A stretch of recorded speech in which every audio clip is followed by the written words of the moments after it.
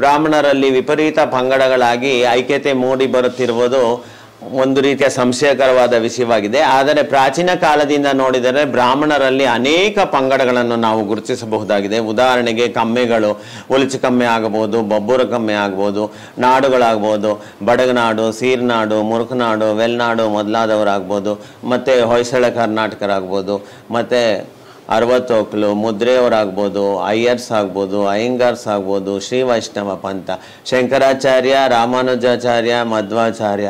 ಮೂರು ಮತದವರು ಸೇರಿ ಮಾಡಿರುವ ತ್ರಿಮತಸ್ಥ ವೈಷ್ಣವರು ಎಲ್ಲರೂ ಸೇರಿ ಮಾಡಿರುವ ಬ್ರಾಹ್ಮಣ ಸಮುದಾಯದ ಏಳಿಗೆಗಾಗಿ ಎಲ್ಲರೂ ಒಂದಾಗಿ ಬ್ರಾಹ್ಮಣರ ಐಕ್ಯತೆಯನ್ನು ಹೊಂದಿಕೊಂಡು ಮುಂದೆ ನಡೆದರೆ ಬ್ರಾಹ್ಮಣರು ಅತ್ಯಂತ ಉನ್ನತಿಗೆ ಬರುವುದರಲ್ಲಿ ಸಂಶಯವಿಲ್ಲ. ಆದರೆ ನಮ್ಮ ನಮ್ಮಲ್ಲೇ ಒಳ ಪಂಗಡಗಳಿಂದ, ಚಿಕ್ಕ ಚಿಕ್ಕ ಪಂಗಡಗಳಿಂದ ಜಗಳಗಳನ್ನು ಮಾಡಿಕೊಂಡು ಇತ್ತು ಅಂತಂತಂದರೆ ಮತ್ತೆ ಇದರ ಉಪಯೋಗವನ್ನು ಬೇರೆಯವರು ಮಾಡಿಕೊಳ್ಳಬಹುದು. ಯಾಕೆ ಅಂತಂದರೆ ಇತ್ತೀಚಿನ ದಿನಗಳಲ್ಲಿ ನಮಗೆ ಸಿಕ್ಕಿರುವ ಸೆನ್ಸೆನ್ಸ್ ಪ್ರಕಾರ ಬ್ರಾಹ್ಮಣರ ಸಂಖ್ಯೆ ಬಹಳ ಕಡಿಮೆ ಆಗ್ತಾ ಇದೆ. ಬ್ರಾಹ್ಮಣರ ವಿದ್ಯಾವಂತ ವರಗಳಿಗೆ ವಿದ್ಯಾವಂತ ವಧುಗಳು ಕೂಡ ಸಿಗುವುದು ಬಹಳ ಕಷ್ಟವಾಗಿದೆ ಎಂದು ತಿಳಿದು ಬಂದಿರುವ ಒಂದು ದುಃಖದ ಪ್ರಸಂಗವಾಗಿದೆ. ಆದ್ದರಿಂದ ಇನ್ನು ಮುಂದಾದರೂ ತ್ರಿಮತಸ್ಥರಾದ ಬ್ರಾಹ್ಮಣರು, ಎಲ್ಲರೂ ನಾವೆಲ್ಲ ಒಂದೇ. ಬ್ರಾಹ್ಮಣರು ಒಂದೇ ಎನ್ನುವ ವಿಷಯವನ್ನು ಇಟ್ಟುಕೊಂಡು ಅವರು ಒಂದೇ ರೀತಿಯಾಗಿ ಉನ್ನತವಾದ ಕೆಲಸವನ್ನು ಮಾಡಬೇಕೆಂದು ಅಖಿಲ ಕರ್ನಾಟಕ ಬ್ರಾಹ್ಮಣ ಸಭೆಯನ್ನು ನಾನು ವಿನಯಪೂರ್ವಕವಾಗಿ ವಿನಂತಿಸುತ್ತೇನೆ. ನಮ್ಮ ಬ್ರಾಹ್ಮಣರ ಸಮಾಜದಲ್ಲಿ ಸುಮಾರು ಅರವತ್ತಕ್ಕೂ ಹೆಚ್ಚಿನ ಉಪಪಂಗಡಗಳಿರುವುದು ಕಂಡು ಬರ್ತಿದೆ.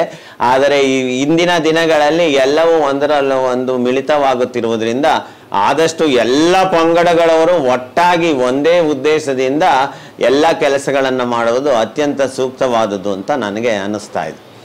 ಇಂದಿನ ಯುವಜನಾಂಗಕ್ಕೆ ನಾನು ಹೇಳ ಬಯಸುವುದೇನೆಂದರೆ ಎಲ್ಲರೂ ಕೂಡ ಪಿ ಯು ಸಿಯನ್ನು ಮಾಡಿ M B B S doctor ಆಗಬೇಕು, ಇಲ್ಲ ಬಿ ಇ ಇಂಜಿನಿಯರ್ ಆಗಬೇಕು, ಇಲ್ಲ ಸಾಫ್ಟ್ವೇರ್ ಇಂಜಿನಿಯರ್ ಆಗಬೇಕು ಅಂತ ಹೇಳ್ತಾ ಇದ್ದಾರೆ. ಆದರೆ ಎಷ್ಟೋ ವಿಷಯಗಳು, ಎಷ್ಟೋ ವಸ್ತುಗಳನ್ನು ಕಂಡುಹಿಡಿಯುವ ಸಂಶೋಧನೆ ಅಥವಾ ರಿಸರ್ಚ್ ಅಂತ ನಾವು ಏನು ಕಳಿತೀವಿ ಅದು ಬಹಳ ಕಡಿಮೆ ಆಗ್ತಿರೋದು ನೋವಿನ ಸಂಗತಿಯಾಗಿದೆ. ಯಾಕೆ ಅಂತಂತಂದರೆ, ನಾವು ಹೆಜ್ಜೆ ಹೆಜ್ಜೆಗೂ ಕೂಡ ಕರ್ನಾಟಕದಲ್ಲಿ ನಮಗೆ ಅನೇಕ ವಿಷಯಗಳು ತಿಳಿತವೆ. ಅನೇಕ ಹಳೆಯ ದೇವಸ್ಥಾನಗಳಿರ್ಬೋದು ಅನೇಕ ಶಾಸನಗಳಿರ್ಬೋದು ಆರ್ಕಿಯಾಲಜಿಕಲ್ ದೃಷ್ಟಿಯಿಂದ ನೋಡಿದರೆ, ಇವತ್ತಿಗೆ ಪ್ರಾಚ್ಯಶಾಸ್ತ್ರದಲ್ಲಿ ಕೂಡ ಅನೇಕ ರೀತಿಯ ಸಂಶೋಧನೆಗಳನ್ನು ಮಾಡಿದಾಗ ಅವರು ಉನ್ನತ ಸ್ಥಿತಿಯಲ್ಲಿ ಮುಟ್ಟಿದ್ದನ್ನು ನಾವು ನೋಡಿರಬಹುದು. ಹಾಗೆ ಉನ್ನತವಾದ ಅಧಿಕ ವೇತನವನ್ನು ಕೂಡ ಪಡೆಯುವ ಅನೇಕ ಅವಕಾಶಗಳನ್ನು ಈ ಕ್ಷೇತ್ರದಲ್ಲೂ ಇದೆ. ಕ್ಷೇತ್ರ ಕಾರ್ಯ ಮಾಡುತ್ತಾ ಹೋದರೆ ಅದರಲ್ಲಿ ಜೀವನದ ಎಲ್ಲ ವಿಷಯಗಳಿಗಿನ್ನ ಅತ್ಯಂತ ಸಂತೋಷಕರವಾದ ವಿಷಯ ನಮಗೆ ತಿಳಿದು ಬರುತ್ತದೆ. ಯಾಕೆ ಅಂತಂತಂದರೆ ಸಂಶೋಧನೆ ಎನ್ನುವುದು ಅಷ್ಟು ಸುಲಭವಾದದ್ದಲ್ಲ.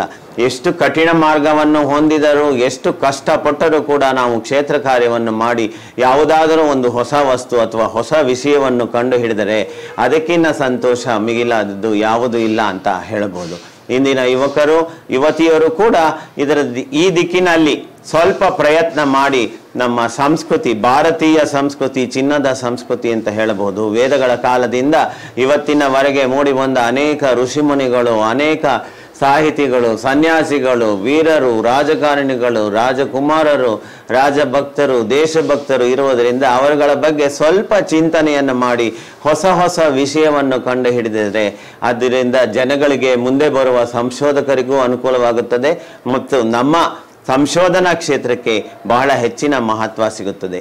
ಭಾರತದ ಸಂಸ್ಕೃತಿಯನ್ನು ಉತ್ತುಂಗಕ್ಕೆ ಏರಿಸುವ ಈ ಪ್ರಯತ್ನವನ್ನು ಮಾಡುವಲ್ಲಿ ಕೇಂದ್ರ ಸರ್ಕಾರ ಕೂಡ ಬಹಳವಾಗಿ ಸಹಾಯವನ್ನು ಮಾಡಲು ನಿರೀಕ್ಷಿಸ್ತಾ ಇದೆ. ಹೀಗಾಗಿ ಇಂತಹ ಕ್ಷೇತ್ರವನ್ನು ಕೂಡ ಆಯ್ಕೆ ಮಾಡಿಕೊಳ್ಳಬೇಕು.